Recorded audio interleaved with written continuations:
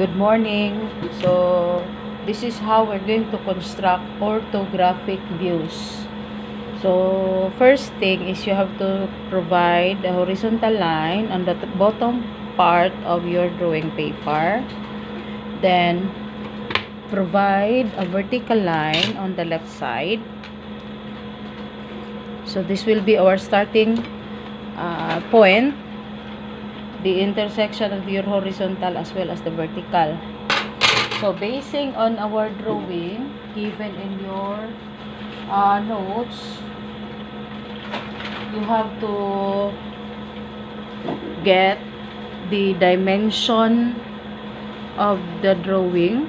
So, for example, you have to get the length of the object, the width of the object, and the thickness of the object.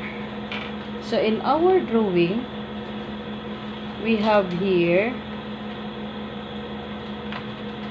the length of the object is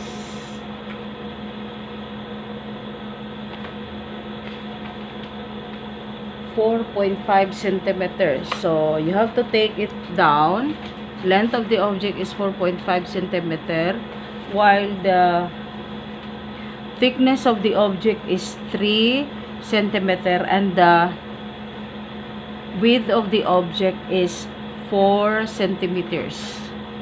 So as I've said, the intersection of our horizontal and vertical line is the starting point where we can start or we will start drawing the orthographic.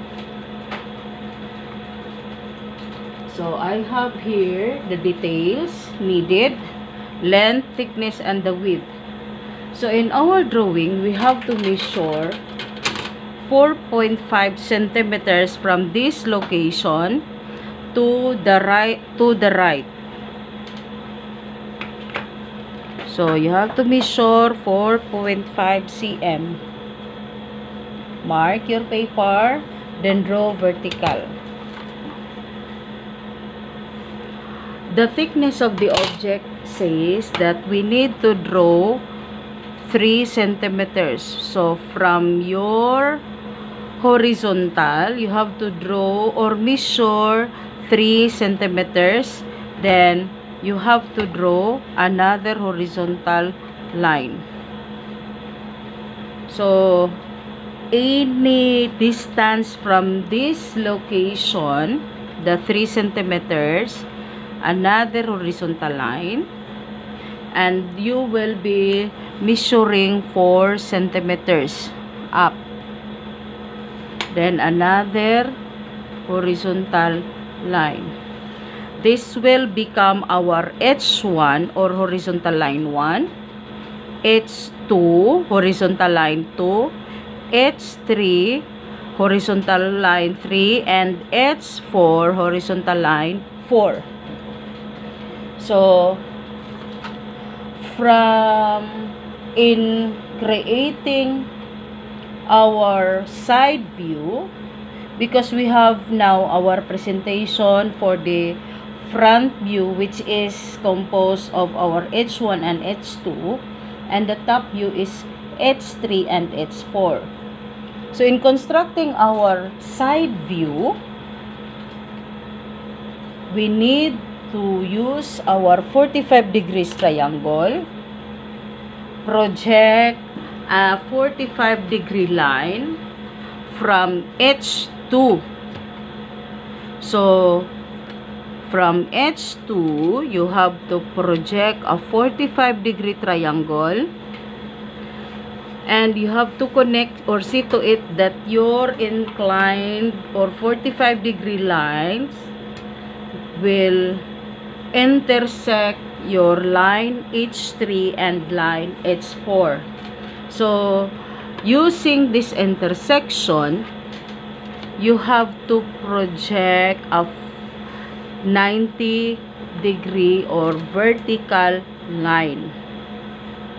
And another vertical line so that you can have your side view. So, this is now our presentation. This is intended, this space is intended for the front view.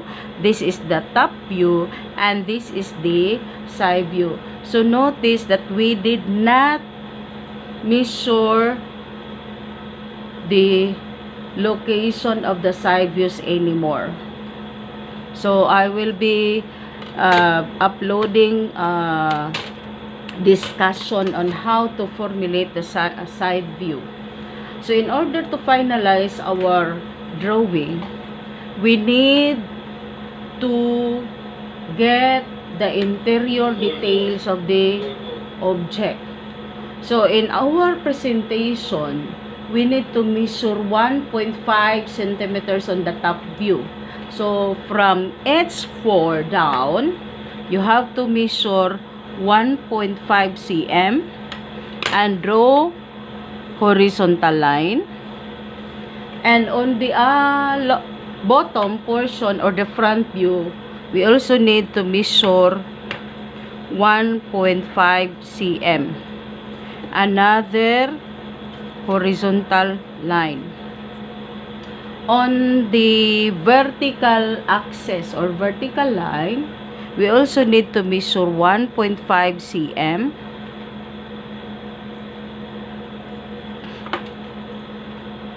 And you have to draw vertical line. So, once you see another intersection of the uh, inclined line with your horizontal lines, you have to get this intersection so that you can draw a vertical line. So, be careful in finalizing the views of the orthographic so that there will be no error. So, in doing this, you have to use my gel 0.5 to represent your front top and the side view of the object. So, you have to be very careful so that there will be no error. So, finalize your drawing using 0.5 my gel.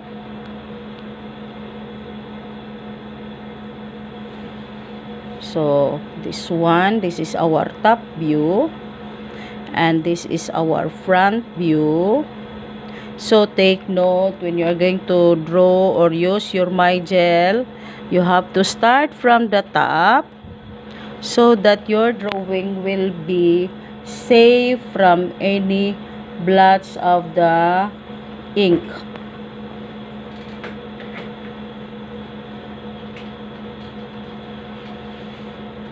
Okay, so in drawing the vertical line, you have to start on the left side.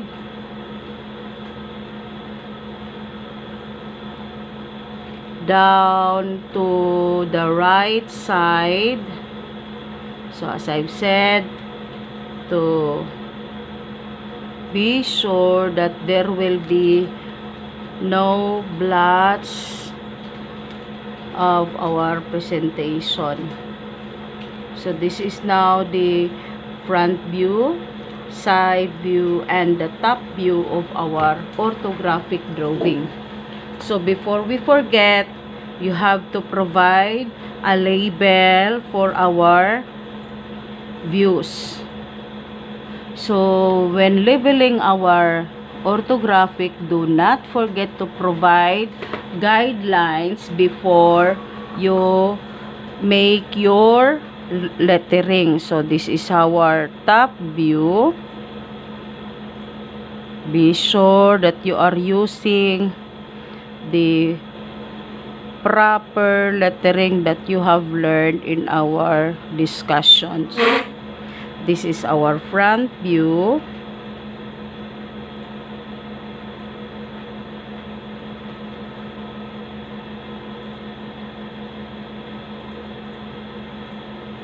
And this is our side view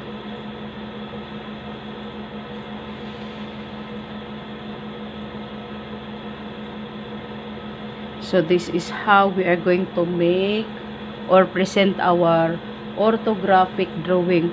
But this is this is not yet done because we have to provide a dimension in our presentation.